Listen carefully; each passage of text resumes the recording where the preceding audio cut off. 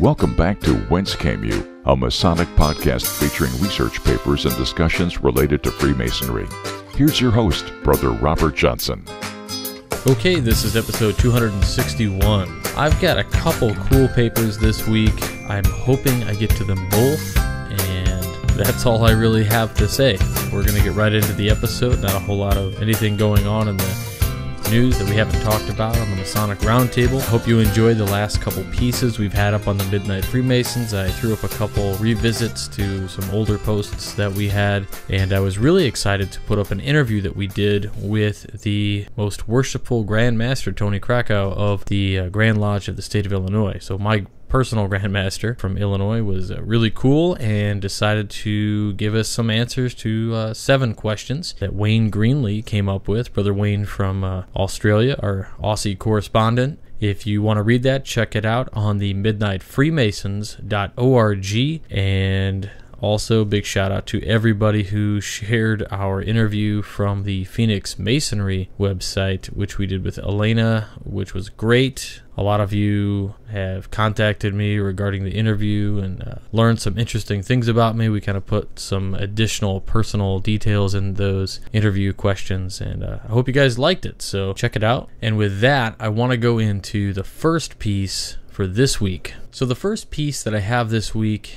is actually an address given before Harmony Lodge number 17 FAAM. That's Free and Accepted Masons. That's, of course, Washington, D.C. It was delivered January 28th, 1914 by Dr. L.D. Carman, Pastmaster, and I'll host this file because it does have an appendix containing the actions taken by the Masonic Grand Lodge of the United States during President Lincoln's death. The title of the address Abraham Lincoln, Freemason. Now, I know before we get started, there is all kinds of lore about Abraham Lincoln becoming a Freemason, that he either got the EA degree or he didn't, or he pulled back his petition because he didn't want anybody to think he was going after votes. But I've never read this before. Let's see what it has to say. This was printed for distribution in 1914.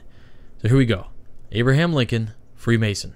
Worshipful Master and Brethren, the subject of my remarks this evening will be Abraham Lincoln, Freemason. It may be regarded as somewhat presumptuous to give this address this title when Lincoln is not considered as one of the Masonic presidents of the United States, and while Abraham Lincoln and Freemasonry might be deemed by some as preferable title, Abraham Lincoln, Freemason, is nevertheless the subject. It was once facetiously attempted to prove that Lincoln was a Mormon because in one of his early speeches, he made a number of references to throat cutting, the penalty of the first Mormon oath, and because in another address shortly before his first inauguration, he stated that sooner than surrender a certain principle, he would have his body burned to ashes and those ashes scattered to the winds of heaven. Peculiar language in the Third Mormon Oath. While it has been said that anything can be proved in Masonry, it is not attempted to prove that Lincoln was a member of the secret society called Mormons or of the secret society called Freemasons, but a number of interesting facts concerning Lincoln and his connection with the order are presented for consideration. One of Lincoln's most intimate friends in early life was Bowling Green, an earnest Mason, a past master, and a member of Old Grand Lodge of Illinois the records of that lodge showing him to have attended the communications of 1826 and 1827.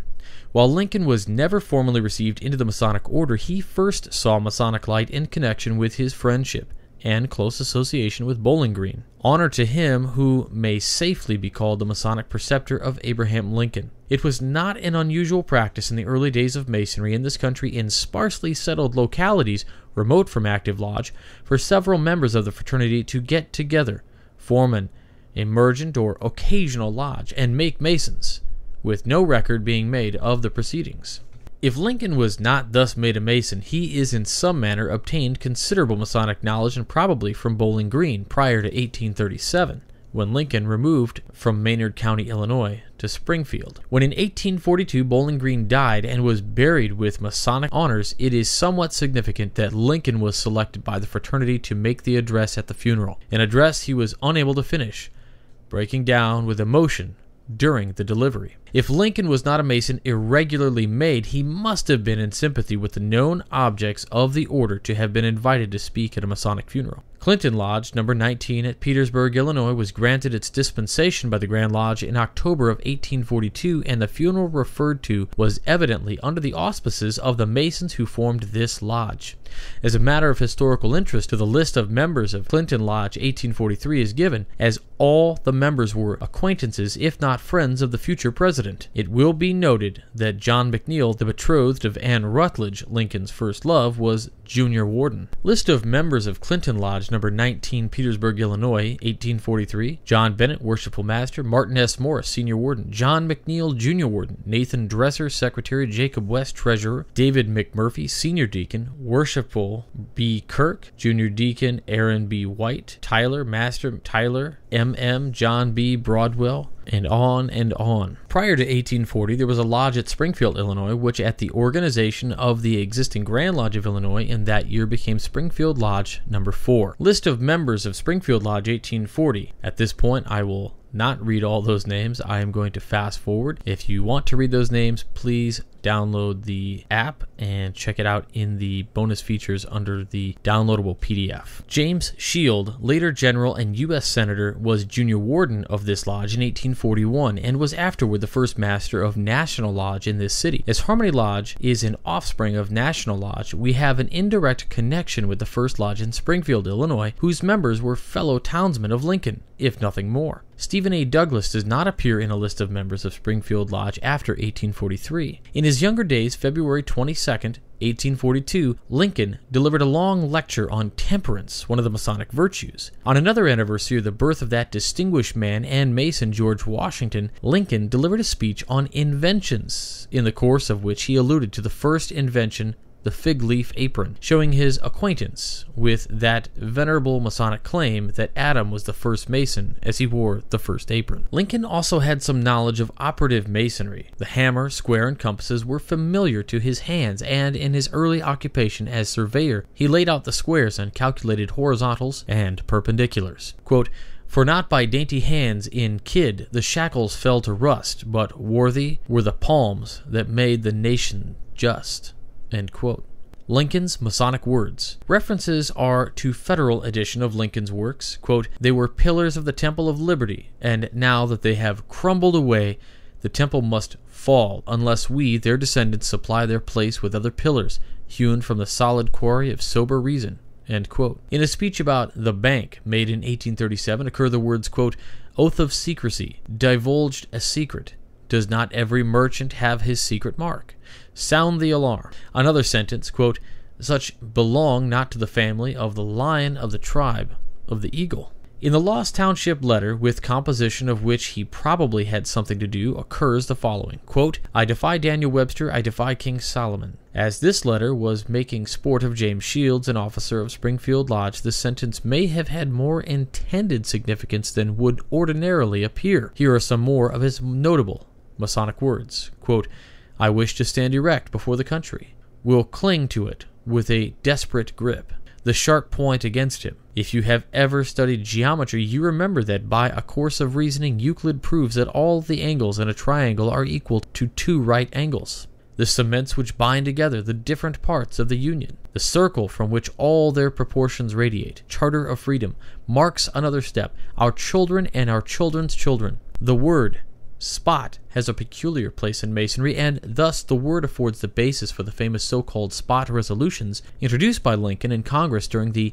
Mexican War, December 22, 1847. In his speech at Philadelphia before inauguration, he said that he would, quote, rather be assassinated on the spot than surrender. At the words fatal blow, though copied, were frequently used in the joint debate with Douglas at Freeport, August 22, 1858. Several times he used the words darkness to light, and in his telegram to General Sherman on his march to the sea, he said, quote, It brings those who sat in darkness to see a great light.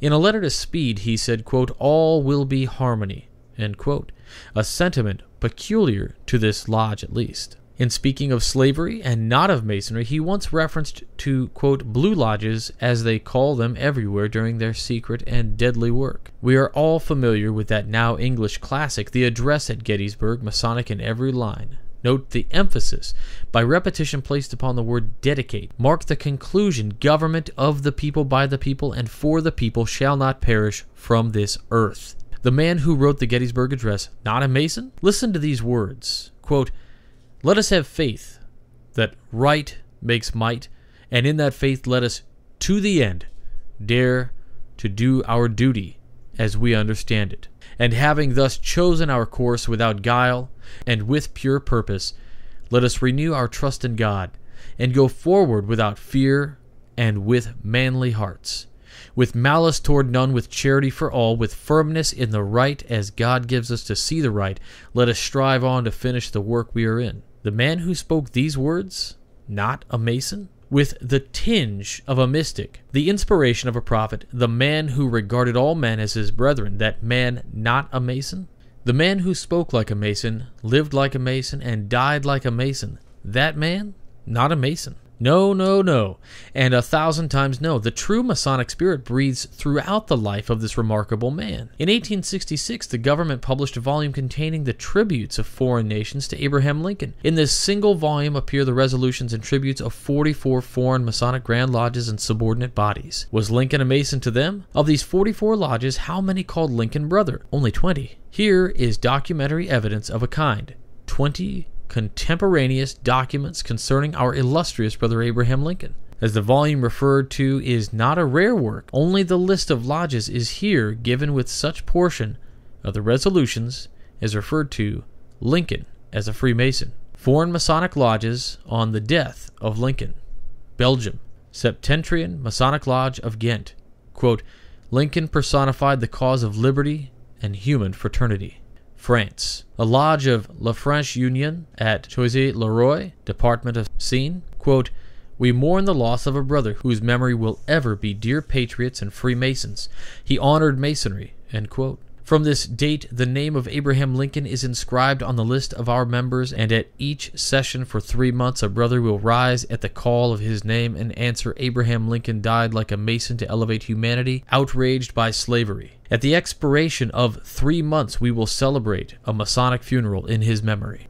Perfect Union Masonic Lodge, Orient of Confolens, Charente, New Friendship Lodge of Grace, Risset. Quote, sympathy for the glorious death of one who, after having used the hammer, square, and compasses, those living implements of our immortal society, etc. United benefactors of Gentilly to the Grand Lodge of New York, the very illustrious brother Abraham Lincoln, has given his life for the love of his country, etc., thus setting the most noble example of a Masonic brother can give to his brethren. Freemasonry has suffered an irreparable loss. Orion Lodge of St. John's, Gaelic Orient, Lodge of Toleration and Progress, and Lure. Quote, sympathy for the memory of Brother Lincoln. L'École de la Morale Lodge of Libourne. Quote, Lincoln, our illustrious brother. Quote, Lodge will mourn for three months. End quote the Lodge of Les Arts Runis Orient of Masson, the glorious martyr of equality and fraternity, Friends of Truth Lodge in Metz, Lodge of St. John in Jerusalem and Nancy, the great Masonic association that glorified in calling Mr. Lincoln one of its own children, Clement Friendship Lodge, Paris. Quote, we Masons mourn him not only as a brother, but as a friend of the whole human race. Lincoln's first thought was the Mason's motto, fraternity. Lodge of Triumphant Friends in Paris, chapter of Mars and the Arts in Paris, a stronger bond, a more intimate union than the common tie united us, particularly to his great heart. Abraham Lincoln was our brother. The sovereign chapter of the Friends of the Country, Valley of Paris, quote, Glory to our brother Lincoln, who practiced the virtues inculcated by our order, and who Masonry is proud to number among the number of her children. L'Avenir Lodge, Paris. Regret for the death of brother Abraham Lincoln. Scotch Masonic Lodge, La Prévoyance, Paris. St. John's Lodge, number 147, Heroes of Humanity. Quote, All Freemasonry mourns the death of Abraham Lincoln, and this lodge also regrets the loss of a man who was an honor to our order, etc. Ancient Accepted Scottish Rite, Paris. Quote, Lincoln, whom we had the honor to count among our brothers. Lodge of Henry IV in Paris, Perseverance Lodge, Paris, quote, Has any living man practiced so well the humane principles inculcated by Freemasonry, and who is more deserving of the regard of the regrets of their brethren? Lodge ordered a triple morning salute in memory of Brother Lincoln. Lodge of Admirers of the Universe in Paris. Quote, the memory of Brother Abraham Lincoln. End quote. Scotch Hive Lodge in Paris. Quote, Freemasonry is moved with just indignation at the atrocious crime that has deprived it of one of its most illustrious representatives. Condolence for the loss of the zealous Mason who has proclaimed the great Masonic principles of liberty, equality, and Freemasonry and fraternity. Memory of the very illustrious brother Abraham Lincoln. Lodge of St. John of Jerusalem, Paris to Grand Lodge of New York. Quote, the glorious death of one who had handled the hammer, square, and compasses. Harmony Lodge of Paris. Lodge St. Pierre de Acacias, Paris. Quote, Brother Abraham Lincoln, member of the Grand Lodge of New York. Quote, Death of their brother, Abraham Lincoln. Lodge of the Fraternity of the People, Paris. The horrible outrage to which Brother Lincoln has fallen a victim. Scotch Lodge number 146, The Right Line. Quote, The crime, etc., deprives Masonry of a brother. Rite of Mizraim, Supreme Grand Council, Lodge Rosson. All the virtues possessed by Lincoln are Masonic virtues symbolized in our degrees of initiation. When an apprentice has purged his mind of all the subversive passions which was an indispensable preparation for the good conduct of life, as a companion he had learned to live order by labor and a scrupulous observance of right and justice, a course which was marked out by rule, square, and compasses. Finally, like Hiram, he succumbed to the blows of an outrageous pride for having remained inflexible in the discharge of his duty. Lodge of St. Augustus, beneficent to the Grand Lodge of New York. Quote, First, the son of laboring men, he was an apprentice. Then he became a journeyman, and last a master, thus realizing the Masonic symbols. Cradle of Henry IV Lodge in Pau. Friends of Perfect Union Lodge, Perpignan. Quote, An illustrious Mason, the very dear brother, Abraham Lincoln. Our very illustrious brother, Abraham Lincoln. Royal Scotch Lodge, the elect of St. Stephen. Lodge of Good Faith, St. Germain en Laye. The Gazette de France, May 5, 1865, spoke of Abraham Lincoln as of the Grand Lodge of New York. On page 124, the Grand Lodge of Freemasons of Ireland, Grand Lodge of Freemasons of Scotland and England, Lodge of Gymnosophists in London, quote, Abraham Lincoln, member of the Grand Lodge of New York, end quote. Italy, Social Progress Lodge, Florence, Lodge Anziani, Virtuosi, and Leghorn. The list goes on and on and on, guys. You can read all of them, but it's it's really insane that all of these other lodges come together and every one of these quotes that I'm talking about in this paper regards Lincoln as a member of the Grand Lodge of New York. So, what's going on here? Let's continue. It will be noted that there are several references in these resolutions to Abraham Lincoln, member of the Grand Lodge of New York. It is possible that this error arose from the fact that this Grand Lodge participated in the funeral ceremonies in New York City as the Grand Lodge and other Masonic bodies in the several states through which Lincoln's body was carried on its way from Washington to Springfield took part in the ceremonies in their states. The Grand Lodge of New York, however, was unaware that Lincoln was a member of that lodge or any other, as the DGM of that jurisdiction, on April 19, 1865, the day of mourning, addressed a letter to Brother B.B. French of Washington, which was answered as follows From Masonic Monthly, May 1865, page 351, Office of the Grand Master of Knights Templar of the United States of America, City of Washington, April 21st, 1865. Right Worshipful Robert D. Holmes, Deputy Grand Master, Grand Lodge of New York, my dear sir and right worshipful brother, yours of the 19th is just received. President Lincoln was not a Freemason.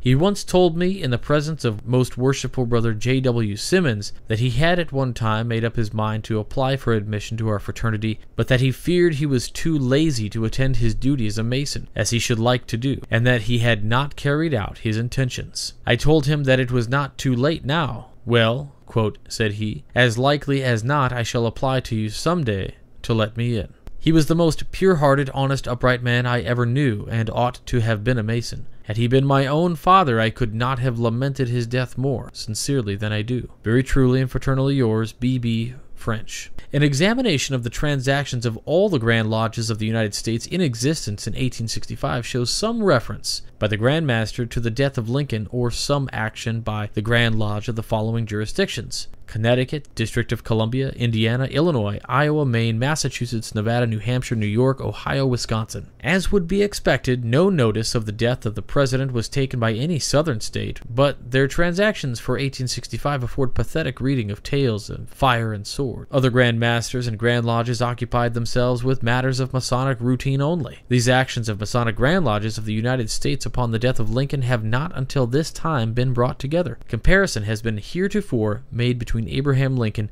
and one of the first most excellent Grand Masters in his virtuous and amiable conduct, in his unfeigned piety to God, and his inflexible fidelity to his trust, the Hiram who was also slain, and like him his memory is not dimmed by the passing years. So, that's the paper. I know it was a little bit long there in the middle where we were talking about all the places in which Abraham Lincoln was actually addressed as a Freemason. We cleared up the fact that it was a simple mistake. These Grand Lodges of foreign jurisdictions heard and saw that Grand Lodge of New York was obviously involved in his funeral, and several lodges across the United States were helping out when the body of Lincoln was being toured around like so much traveling circus. If you don't know, Lincoln's body traveled for a really, really long time everywhere, guys. I mean, in fact, his body was the subject of theft and all kinds of uh, wild and crazy things. Uh, you really should uh, look into it if you haven't. It's absolutely fascinating. Uh, if you don't know, Abraham Lincoln is, of course, uh, my favorite president of all time. I love the mystique about the man and the myth, and uh, you've heard me say on the show before, if you've ever listened to past episodes where we've talked about Masonic presidents and wishes, I always wished that Abraham Lincoln was a Freemason. I think, in fact, uh, Brother Todd E. Creason even addressed that in a Midnight Freemason post some time back, uh, Abraham Lincoln, Freemason or not, and he came to the same conclusions that uh, Abraham Lincoln was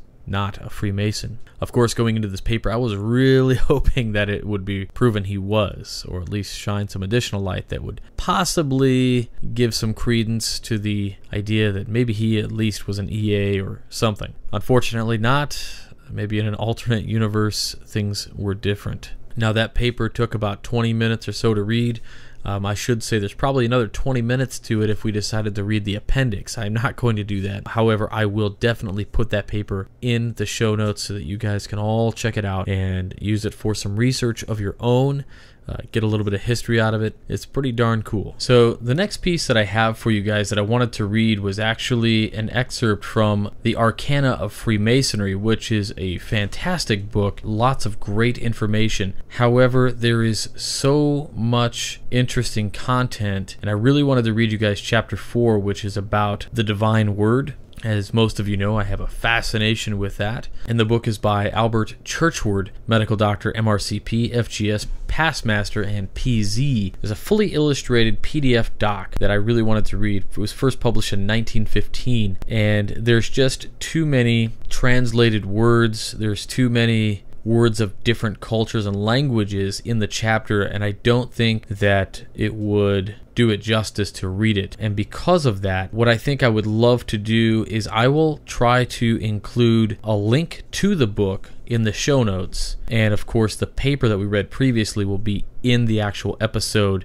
bonus features. There's a great number of books listed from this website, and I'll try to feature one every other week or so. We'll see what we can do about it. But this book, The Arcana of Freemasonry, is pretty darn cool. It kind of addresses Freemasonry globally. In fact, one of the first illustrations in the books looks like a Mayan depiction. So I will definitely put a link to that in the show notes. And if you guys want to check out chapter 4, and maybe we can talk about it a little bit on the Twitter or Facebook feeds, and we'll see what you guys might want to talk about. So, with that, I think we're going to call it for this week. I really hope you guys had a great Labor Day weekend last week. I hope you guys tune in to the Masonic Roundtable coming up. We've got a wonderful show coming up about the history of Prince Hall Masonry, which is a history that is not known by many. And this guy has really done his research. I believe he's got a new book out. So, don't miss the show on Tuesday. Prince Hall Masonry, I believe it's about African Lodge number one. And that'll episode 133. So, uh, thanks again for listening to this show and for listening to TMR, the Masonic Roundtable, reading the blog Midnight Freemasons, and really just pushing Masonic education to the forefront of our lodges and demanding it. Uh, that's what we're supposed to do, and somewhere along the way, I think it kind of fell off, and uh, I'm glad it's coming back. Um, our efforts are really paying off, and I salute each and every one of you who is sharing articles and, and reading them. And even if you never share an article and you never donate to the show, the fact that you might be gleaning some of the knowledge that we're putting out there and being able to talk about these things with fellow brothers, maybe it's just. Uh, you know, neat little nuggets of information you might be giving out, uh, whatever the case may be. Maybe we inspire you to write a paper or something really cool. I really can't thank you guys enough for everything you're doing for the fraternity. I get a lot of notes that say, you know, RJ, thanks so much for everything you're doing, you know, with the shows and the blogs and all this stuff. But you know, I'm just one guy doing one thing. You guys are the people who are sharing it and taking these into lodges and making the real difference. So if you want to thank somebody, look in the mirror, point at yourself, and say thank you, or at least let me tell you thank you. Uh, you guys are amazing and you're doing a great job. If you want to support the show, please do check out our support the show section on the website www.wcypodcast.com. Click on support the show, buy a pin. Um, I'll send them out. I try to get all the shipments out. I send everything out every Saturday morning. So I take orders all week and everything goes out on Saturdays. Uh, so if you're so inclined, check it out. And with that, I'll talk to you all next week. Stay on the level. For Whence Came You, I'm Robert Johnson.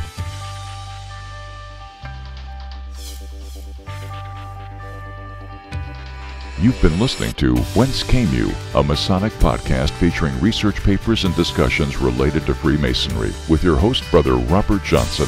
Be sure to join us for our next edition.